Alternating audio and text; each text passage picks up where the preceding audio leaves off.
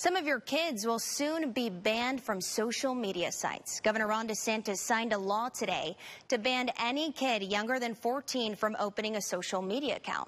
NBC2 Sarah Mankowitz explains the new law right now at 11. The law will prevent some kids here in Florida from opening social media accounts like here on TikTok.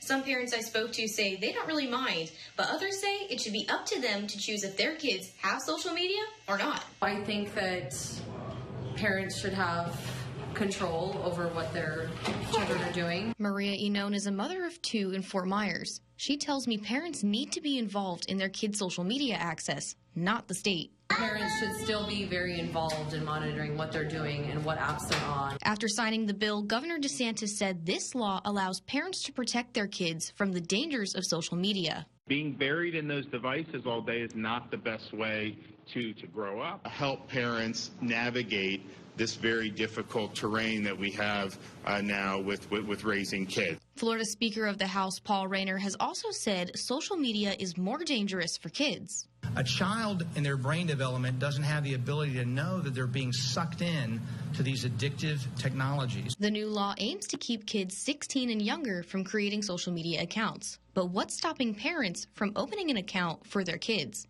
Or kids lying about their age? And what happens to existing accounts? Some people have a lot of questions on how this will be enforced. And even if an account is open and it's open in, I'm assuming, their name, how do you go back and regulate that? To say that every account now, every company has to go through every account to see what the age of that person is. Lawmakers decided 14 and 15 year olds can have access to social media, but only with parental permission. Right now, the law is expected to go into effect January 1st. I'm local in Fort Myers, Sarah Mankowitz, NBC2.